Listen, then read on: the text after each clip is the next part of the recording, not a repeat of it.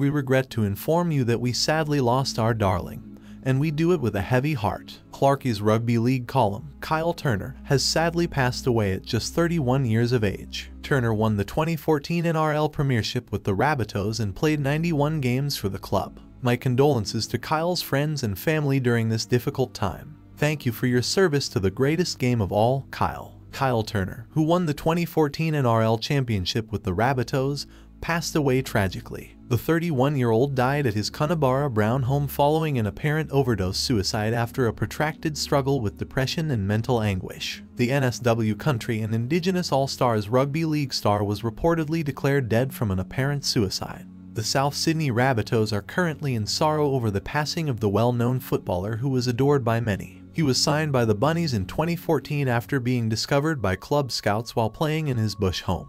He played 25 games in his first season, including the historic grand final victory over Canterbury until a catastrophic neck injury ended his career in 2019.